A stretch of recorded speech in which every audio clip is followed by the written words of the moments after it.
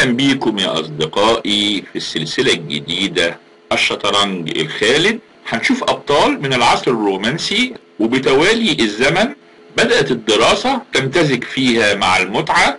ثم وصلنا في نهاية القرن العشرين إلى العصر اللي تقدم فيه الشطرنج كثيرا. حتى وصلنا إلى العصر الحالي. وفي خلال هذه المسيرة الحافلة ظهرت أدوار سماها النقاد بالأدوار الخالدة. وأنا جمعت هذه الأدوار ووضعتها في هذه السلسلة اللي بتمتزج فيها الدراسة مع المتعة والإكروبات الشطرنجية. استعد حترى شطرنج لم تراه من قبل. وإذا أعجبك هذا الفيديو من فضلك سجل إعجابك واشترك في القناة وشارك بتعليقاتك. وتذكر شعار هذه القناة الدراسة العميقة مع المتعة المؤكدة. أريد أن أضيف ملاحظة إن بعض المشاهدين يفضلون الدراسة مع المتعة بينما آخرين ربما يريدون المتعة فقط ولذلك يمكنهم بالمؤشر أن يتجاوزوا الجزء الأول من الفيديو إلى الجزء الذي يبدأ فيه الالتحام وتحدي الأفكار وستتعرف عليه عندما ترى الرقعة قد أصبحت محاطة بإطار أحمر. سلسلة الشطرنج الخالد فيديو رقم 70 مهرجان تال 2 ضد بوتفينك في بطولة العالم 1960 الدور الشهير باسم عاصفة القرن. الدور ده هو الدور السادس في بطولة العالم بين بوتفينك وتال وهذا الدور له قصة وبيعلق تال على هذا الدور قائلا إن هذا الدور كان دور التحول في المباراة فهو بجانب إنه أعطاني تقدم بنقطة إلا إن بداية المباراة لم تكن مرضية تماما لي وكان بوتفينك هو الذي يوجه الأدوار ودائما لديه المبادرة وعلي الدفاع لكي أصل للتعادل ولذلك قررت أن أغير بأي ثمن طريقة اللعب وتساءلت ما هو الافتتاح الذي علي لعبه. كان كلا من دفاعي النمزو هندي والبنون الحديث لم يعطياني التأثير المطلوب وتبقى الدفاع التقليدي ذو الحدين هندي الملك. وكان ده هو اختياره على أساس إن بوتفينك أمام هندي الملك يختار عادة تكملة قديمة بفيل الملك ال fianchetto والذي في رأيي لم يعطي الأبيض أي ميزة في الافتتاح بينما يتجنب بوتفينك الخطوط الحديثة زي تفريع ساميتش وبتروسيان واللي بعتبرهم أفضل أسلحة الأبيض الخطيرة أمام هندي الملك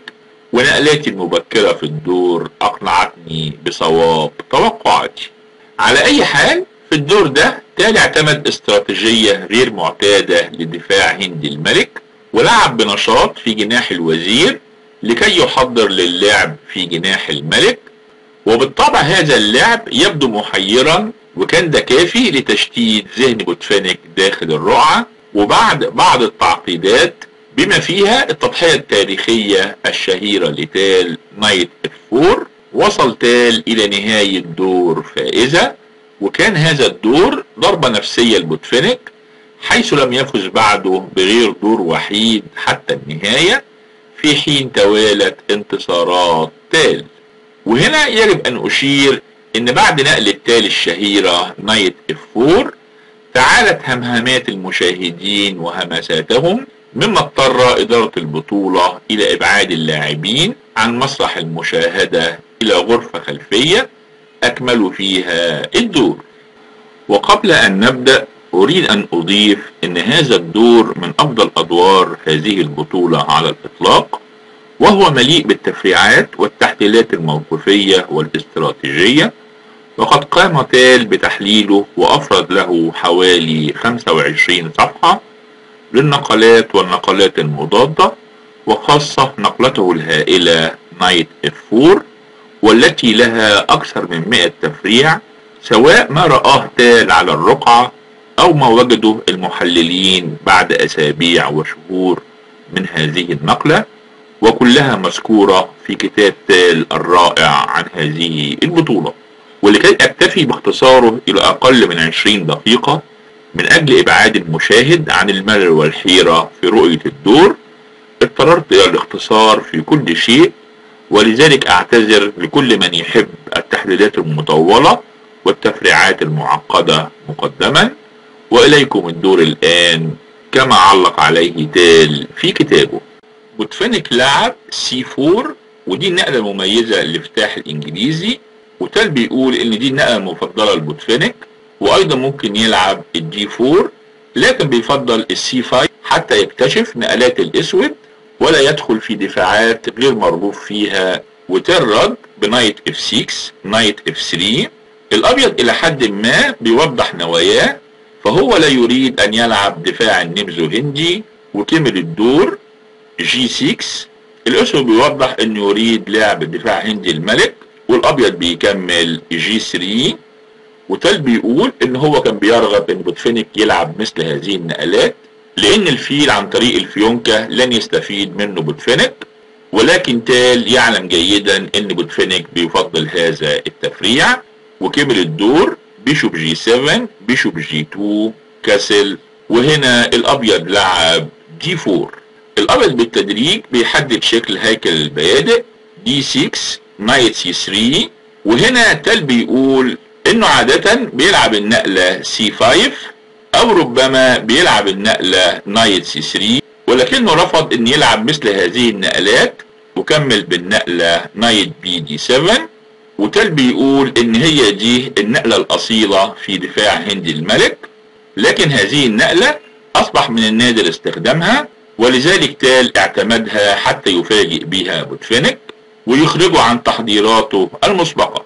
castle E5 E4 وهنا تال لعب C6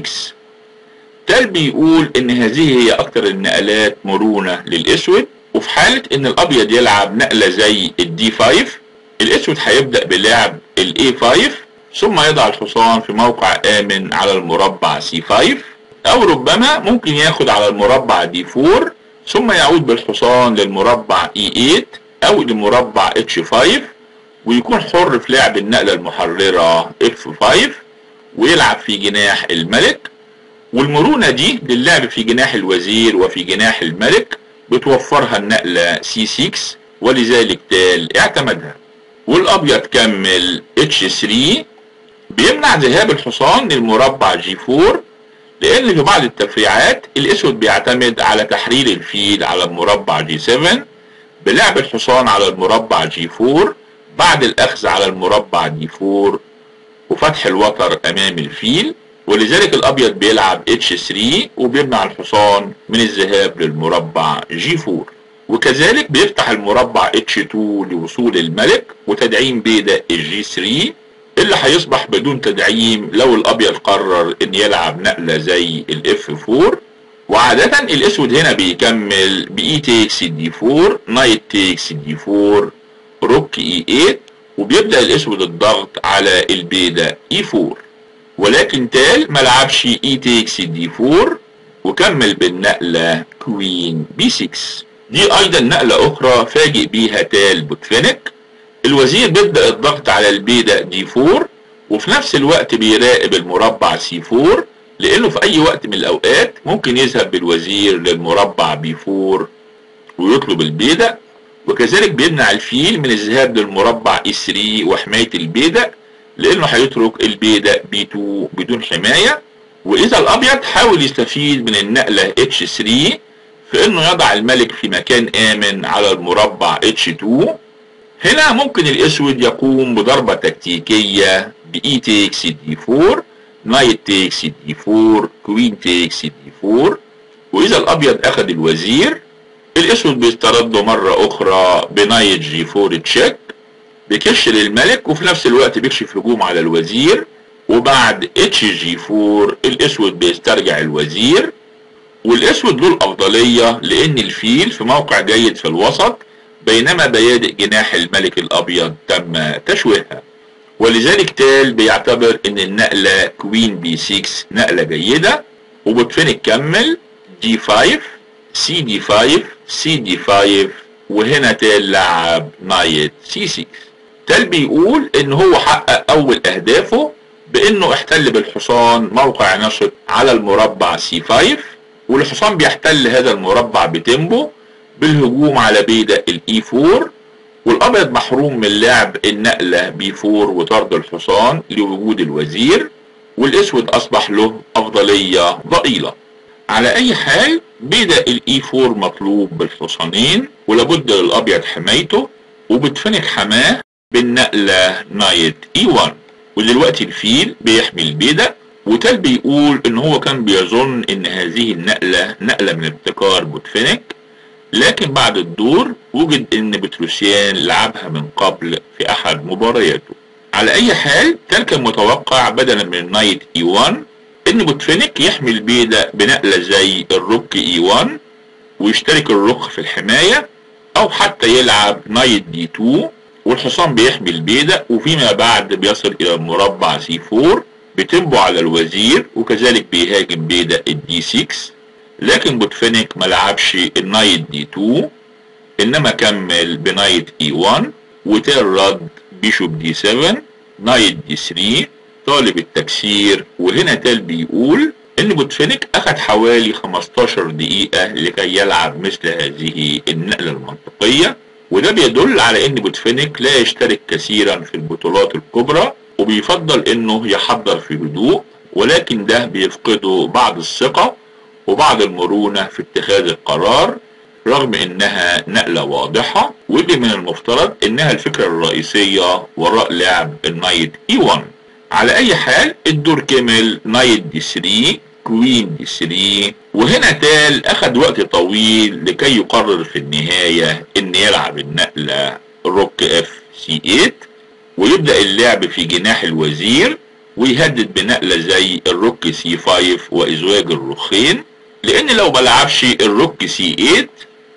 وحاول يلعب في جناح الملك بنقلة زي النايت إتش 5 على أساس إن بيمهد للعب النقلة f 5 الأبيض عنده الرد ب bishop e 3 طالب الوزير والوزير لو تراجع هتبقى نقلة سيئة لأن كمل ب queen e 2 ودلوقتي الاسود ما يقدرش يلعب ال f 5 لأنه لو لعبها هتكون نقلة سيئة والابيض هيكمل e takes f 5 والاسود ما يقدرش ياخد بالبيدق لأن هيترك الحصان بدون حماية أمام الوزير. وأفضل نقلة هو rook takes f 5 والأبيض هيكمل queen c 4 والأبيض أخذ المبادرة وبيهدد بالنقلة جي 4 بشوكة للرخ والحصان وخطة الأسود فشلت في النهاية. اذا queen d 8 لا تصلح ولو الأسود أخذ على المربع b 2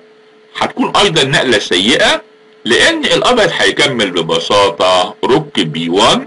طالب الوزير وبعد queen a 3 الأبيض هيكمل rook b 7 والرخ توغلت إلى الصف السابع والموقف المادي متساوي لكن الابيض متفوق موقفيا لأن الرخ موجودة على الصف السابع ولذلك تال أجل لعبه في جناح الملك ولعب اولا rook f c 8 اللي بتمنع الأبيض من لعب النقلة bishop e 3 وطلب الوزير لأن في هذه الحالة الأسود هيكمل queen takes b 2 والأبيض ممنوع من لعب ال rook b 1 لأن الحصان تحت التهديد بالرخ والوزير ولذلك النقلة rook c 8 نقلة مطلوبة تمهيدا للعب النايت اتش 5 وكمل الدور rook b 1 الأبيض بيحمي البيدق وفي نفس الوقت بيجدد التهديد ب bishop e 3 لكن هذه النقلة نقلة سيئة وبسببها الأبيض هيفقد tempo هام زي ما هنشوف في النقلات القادمة. وكان من المفترض بدل من حماية البيدق ب rook b 1 إن الأبيض يلعب queen e 2 والوزير هو اللي يحمي البيدق ويجدد التهديد ب bishop e 3 ويطرد الوزير. لكن على أي حال بوتفينيك ما لعبش ال queen e 2 إنما لعب rook b 1 وهنشوف الأثر السيء لهذه النقلة فيما بعد. على أي حال تال كمل في مهمته بنايت اتش 5 وأصبح بوتفينيك مشتت بين اللعب في جناح الوزير واللعب في جناح الملك وربما هذا التشتت كان له أثر نفسي كبير على بوتفينيك على أي حال الأسود حاليا بيهدد بلعب النقلة f 5 وفي حالة الأخذ بالبيدق الأسود هياخد بالفيل طالب الوزير ووراه الرخ والأسود هيفوز. اذا النقلة F5 أصبح لها تأثير قوي في هذا الوضع ونقلة ال rook c 8 أثبتت جدواها. على أي حال بوتفينيك كمل في تهديده ب bishop e 3 طالب الوزير ومنتظر من تال ان يتراجع بالوزير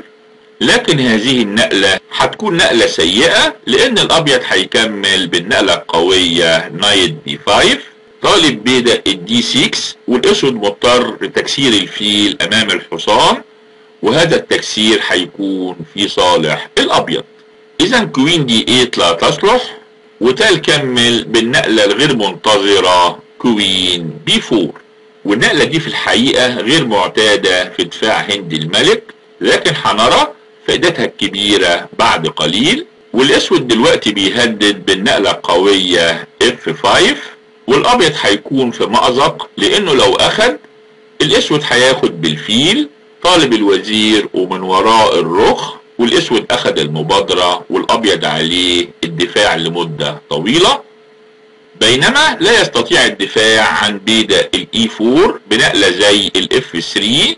لأنها هتترك بيدق ال G 3 بدون حماية أمام الحصان ولذلك الأبيض في الموقف ده مضطر للتراجع بالوزير ولعب queen E 2 ودلوقتي لو الأسود تعجل ولعب النقلة F 5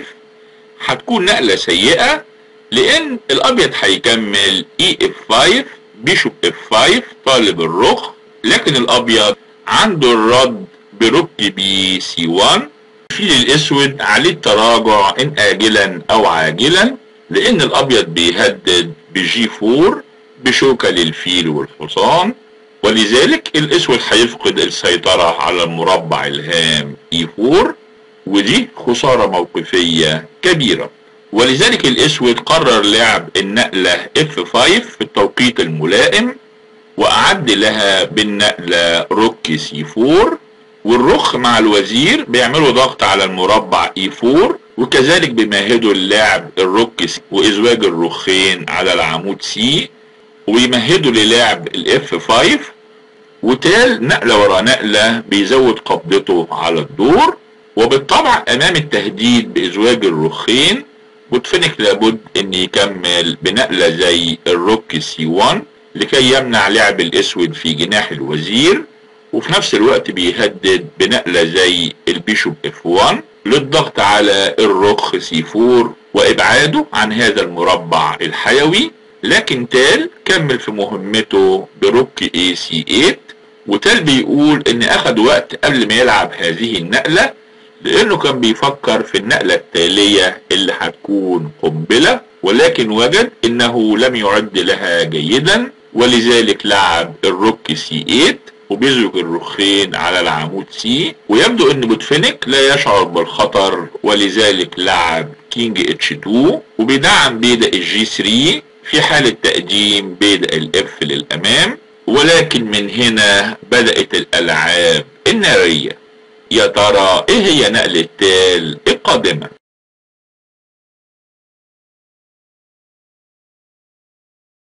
تال لعب النقلة الرائعة F5 بيهدد بالأخذ على المربع E4 ولذلك الأبيض مضطر للرد ب E takes F5 bishop takes F5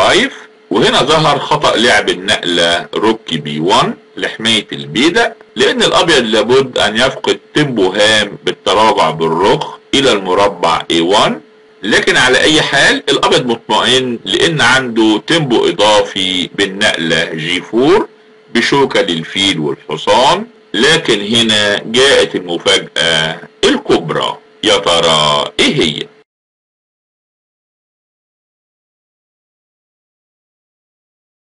الأسود لعب النقلة نايت.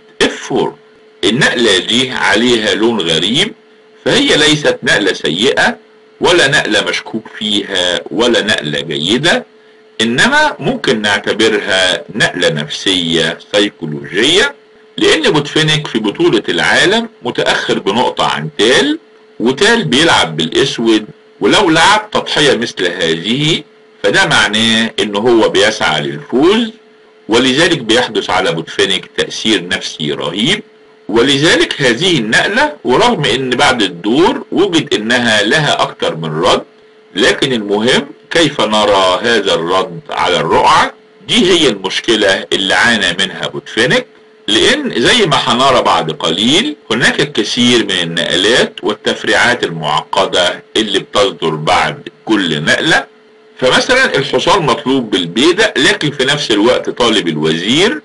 وإذا لسبب ما الأبيض ما أخدش بالبيدق زي ما حدث في الدور وأخد مثلا بالفيل. الأسود هيكمل E takes F 4 والموقف المادي متساوي لكن تم فتح الوتر الطويل أمام فيل ال G 7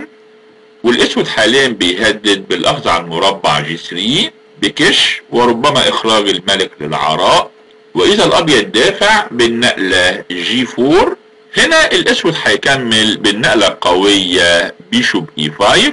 والأسود سيطر على الدور وبيهدد بالنقلة F 3 بكش للملك وطالب الوزير والأبيض عليه الدفاع في موقف صعب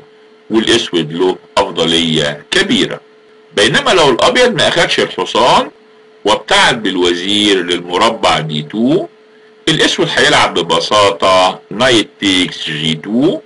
وبيتخلص من الفيل القوي للأبيض وبعد king takes G 2 الاسود بيلعب H 5 والاسود محتفظ بميزة زوج الأفيال والرخين الاسود مزدوجين على العمود الوحيد المفتوح ورخ الوزير الأبيض خارج الخدمة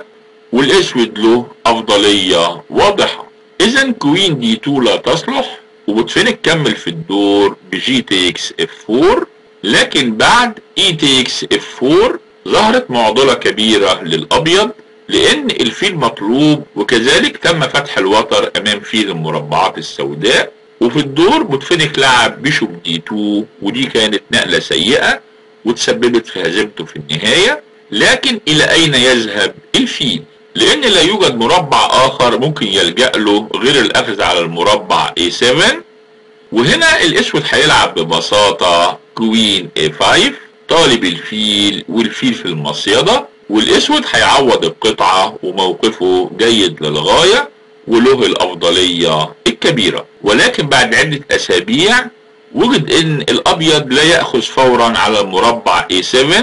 وإنما يلعب اولا النقلة السحرية A3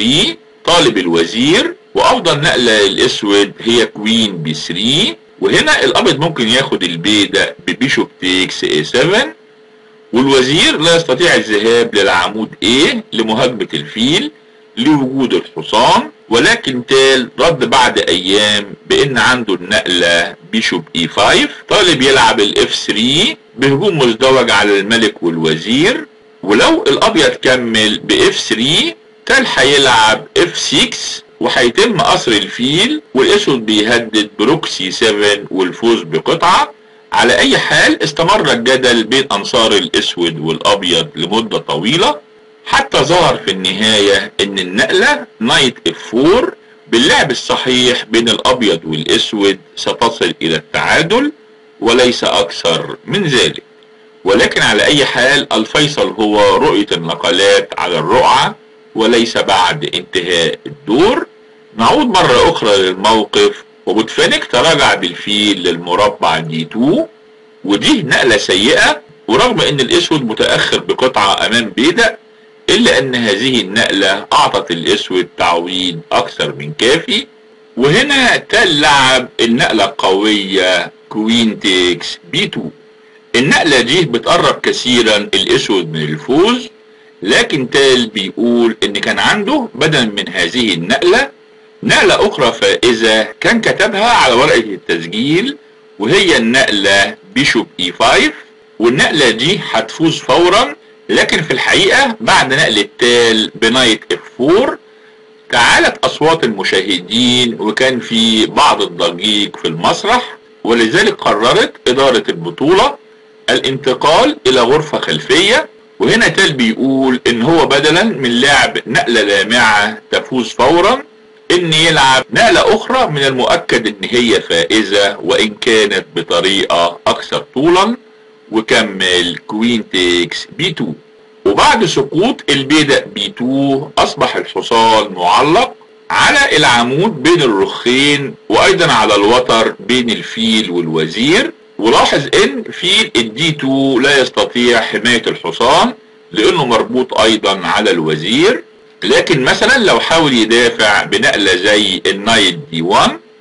طالب الوزير تال هيكمل ببساطة queen E 5 طالب F 3 بكش للملك ويفوز بالوزير والنقلة الوحيدة هي queen takes E 5 لكن بعد bishop E 5 الأسود بيجدد تهديده مرة أخرى بالنقلة F 3 check والفوز بالفيل وكذلك بيهدد الرخ وأفضل نقلة الأبيض هي rook takes C 4 لكن بعد rook C 4 بيجدد التهديد مرة أخرى ب F 3 ولو الأبيض كمل ب rook C 1 طالب الرخ الأسود هيفوز بالنقلة F 3 والملك لازم يتحرك والأسود هيفوز بالرخ ثم يفوز بالفيل ويفوز في النهاية بالدور. ولذلك ال knight D 1 لا تصلح وبوتفينك كمل rook A B 1 طالب الوزير وهنا جاءت الفرصة الذهبية لتال ولعب أحد نقلاته التكتيكية الغامضة المعقدة. يا ترى إيه هي؟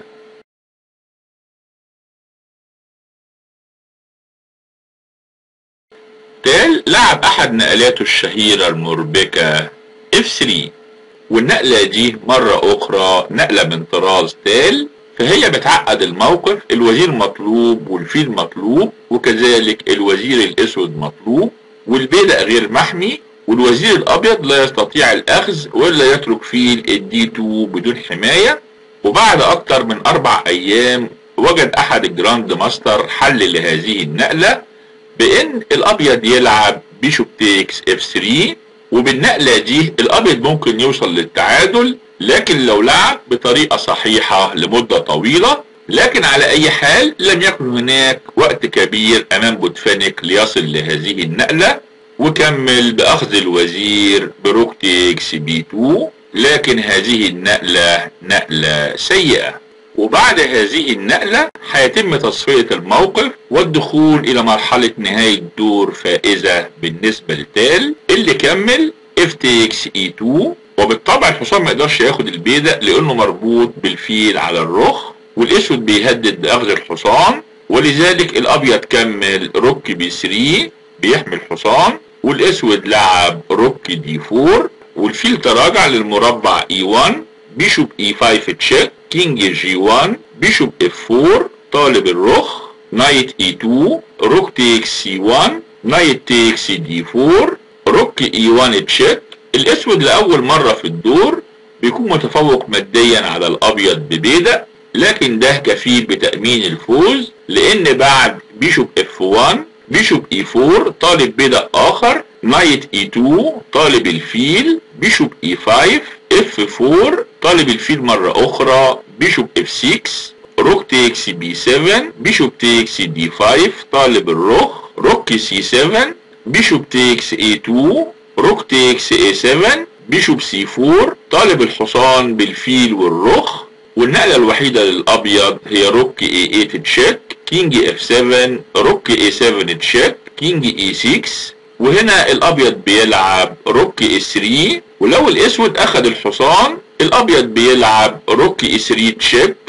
بشوكة للفيل والملك. ولذلك تال لعب ببساطة النقلة D 5 والبيدق بيقرب أكتر من مربع الترقية والموقف مجمد. وبوتفينك حاول يائسا king F 2 طالب الرخ لكن بعد bishop H 4 الملك لازم يبتعد والملك الأسود بيلعب king D 6 وبيشق طريقه لمساعدة البيدق knight G 3 بيكشف أكتر من تكسير بين القطع والأسود كمل bishop G 3 bishop C 4 D takes C 4 king G 3 ودلوقتي ظهر الموقف بجلاء. الرخ الأسود حاجز الملك عن الوصول إلى البيدق السالك والملك مع البيدق في طريقهم مربع الترقية ولا يستطيع الرخ التدخل ولذلك بعد عدة نقلات الأبيض سلم. الحقيقة دور رائع جدا من تال في نقلات تكتيكية رهيبة وفي نفس الوقت في درس قوي للعب السيكولوجي. والحقيقة الدور ده كان فيصل في بطولة العالم لأنه كسر الروح المعنوية لبوتفينيك اللي لم يستطع الفوز غير في دور واحد حتى النهاية بينما توالت انتصارات تال وفاز باللقب. ولكن بوتفينيك الخبير لم ينسى ثأره وعاد في العام التالي واسترجع لقبه مرة أخرى من تال ملك التكتيك. الفيديو القادم والذي يليه سيكون تحت عنوان ما يطلبه الأصدقاء اللي كثيرا منهم طلبوا أدوار للاعب السوفيتي الإستوني الأصل بول كيريس تحت عنوان العقاب القاسي أمام المجري لازلو زابو. أما الدور الذي يليه فهو دور دائما ما يطلبه الأصدقاء لرشيد نجم الدينوف بعنوان لا تعبث مع رشيد. فإلى أن نلتقي بهاتين التحفتين أرجو لكم أطيب الأوقات. وإذا أعجبك هذا الفيديو من فضلك سجل إعجابك واشترك في القناة وشارك بتعليقاتك.